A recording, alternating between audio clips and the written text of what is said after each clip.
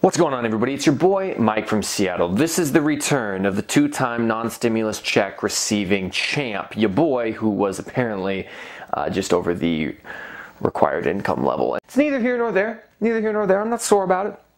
I understand I haven't made a video well, in a little bit. Uh, my bad, my bad. First of all, uh, uh, a little bit of news, a little, little, bit of news for the channel. I turned 30 on November 1st of last year, um, and it took me about the last four to five months to cry. Um, you know, I had to go through all the stages of grief. You know, I mean, was, I, I, was I was in denial. I was I was angry. I was bargaining, and then eventually I just swallowed it and decided that you know, if I'm lucky, maybe it'll just all be over before I hit 40, and we can call it a good run. Last I told you guys, I was in the process of seller fi- negotiating seller financing. In my last video I did was a was a live real-time negotiating of me doing seller financing and working. And then the closing was pushed from the 1st of November to the 1st of December. Why? I, I'm I'm not sure. I through the email process and going back and forth with negotiations until I could get a deal squared away. Well, I did secure that deal. And I never bothered to bring you guys the actual numbers on that deal.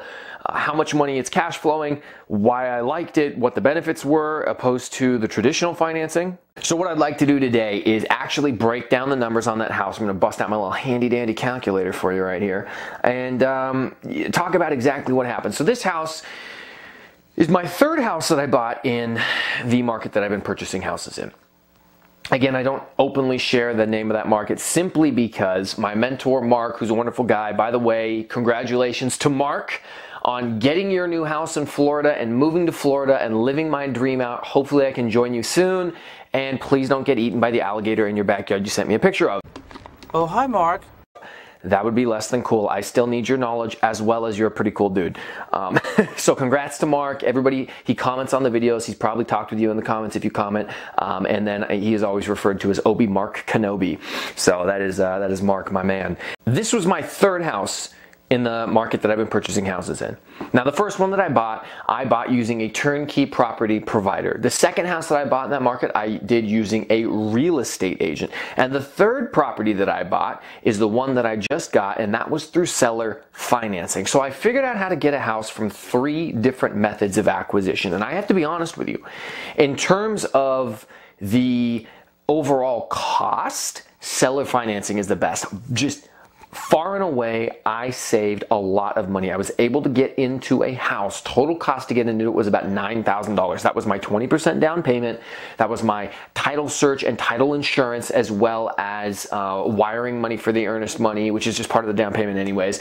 Um, and then there may have been a couple of other like fees to like literally s- uh, send direct express mail back and from that I had to sign on my documents. Um, the, a traditional lender would send like a mobile notary to me. This was on me to go print their documents on legal paper, get them all signed, and then overnight mail them back. But uh, $9,000 was my total cost, approximately like maybe like 9100 Total cost approximately to get into this house. Now let's talk about the house for a minute. Um, it is a three bedroom, one bath, which rents better than just about anything else in the market. I mean, three bedroom, two bath is good too. Um, but I like the three bedroom, one bath or three bedroom, two bath model because your tenants will stay there longer, which means you have less turnover.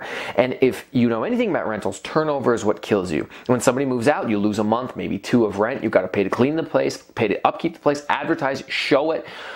Uh, it, it's just it's just a hassle, right? If someone will stay there, if you can maintain and retain a tenant, that is in your best interest. So three bedroom, one baths are what I want, ideally, if I can get them, uh, and that's what I got in this case. So it's a three bedroom, one bath that rents for seven hundred and fifty dollars a month. It's my lowest renting unit. Now, my property manager and I agree, and my real estate agent agrees that they could probably easily rent for 800. Uh, I have no desire to raise the rents until we are beyond this crazy uh, COVID thing that we got going on still here. I don't know if I'm allowed to say that on YouTube yet or if, or if the video will get struck, but I only get like 50 views anyway, so whatever point is, um, at some point I'll move the rents to where they actually are supposed to be, uh, but I just I'm just trying not to uh, put extra stress on my tenants uh, in this situation. I'm just happy if they're paying, and it cash flows as is anyways, even though it's below, significantly below market rent. You know, a $50 increase on a $750 property, you know, that's like a 8% increase in rent just to get it up to market value because uh, it's significantly under. anyway, so the numbers on the property. So my mortgage on the property is $215 a month. Now, in this case, it did not include the insurance and it did not include the taxes on the property. Once I actually factor those things in, uh, I'm a little bit closer to $300 a month in my actual expenses. Okay, so I'm gonna use my calculator here just to do my numbers. I'm gonna run through them real quick for you. So again, the, oh, the cost to actually get into the property after I factored in everything to get into the property cost me about $9,100. That was my cost to acquire the property. My monthly rent is 750 bucks. Now, I always take 30% off the top right away. That 30% covers my my property manager, who only charges 8%, but I always factor in as if she charges 10 just in case. Uh, so 10% to my property manager, 10% for vacancies, and 10% for maintenance. I just set that aside in a separate bank account that I have titled vacancies and maintenance. So I take 30% of that 750, so 750 times 0.3, that's $225 immediately I set aside. Next thing I'm going to do is actually need to factor in my mortgage and I need to factor in my insurance and then setting aside my money for taxes. And that comes out to like right about 300 bucks a month. So I take the 225, my expenses for the 30%, and then I add to that another $300 and I end up with a price of 525. So my monthly expenses on this property are 525 bucks. 750 minus 525 and I end up with a net positive cash flow of $225. And again, my range that I like to go at is between like 250 and above. So this is slightly below, but I bought it because it was such a cheap house and I know the rent can go up. And once I raise the rent and for how cheap it was, it's a really good deal.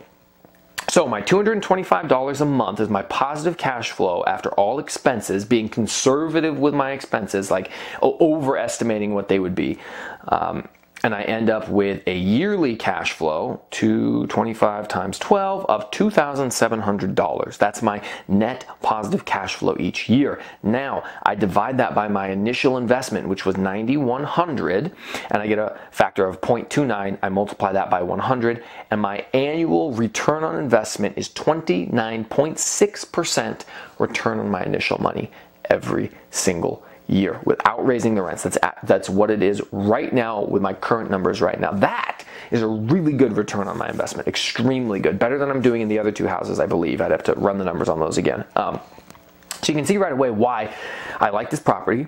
Uh, I'm glad that I got it. It's very beneficial to me. I make a good amount of money on it. I have nothing except for high hopes for the property because the rents can go up. And again, if you remember back to my earlier videos, this property was listed at $34,900 and I got them to sell it for 34,150 or something like that because uh, I got them I got them to negotiate down when I looked it up on Realtor.com and I looked it up on Zillow, you know, Realtor.com estimated it at like 90,000 is the value and Zillow was like 60,000. Now, those are infamous for being wrong and infamous for being wrong in the upward direction because they're trying to suck in buyers or sellers who want to sell their house and then they'll pair them up with a real estate agent they recommend and pick up a fee. So they're usually wrong in the upward direction. But are they wrong by three times the value of the house. If you have a $200,000 house, are they telling you it's worth 600,000? I mean, that's what I have. A $34,000 house they think is worth 90,000. I don't think it's worth 90,000. I think it's probably worth 50,000, which means that I picked up $15,000 in equity on this property just by buying into it, which is fantastic. So anyways, these are the numbers on the house that I just bought in that market in the Midwest where I bought. Uh, I have other videos that are coming your way, guys. I know it's been a while. I'm sorry. Forgive me. I have been busy. I have been um, working a whole lot. I have been um, a little bit stressed, um, trying to improve my skills for a couple of different things. I took the sergeant's exam at work, see, seeing about uh, keeping the option open to promote if I wanted to, though I don't really want to. Uh, but I, you know, was studying for that, and of course, being a single father to a only child who is a handful is always a uh, pleasure. Um, I do love my son very much, but it is very time consuming. Anyways, I hope you appreciated this video. I have a bunch more coming. I know I've been lazy, and uh, we'll catch you next time.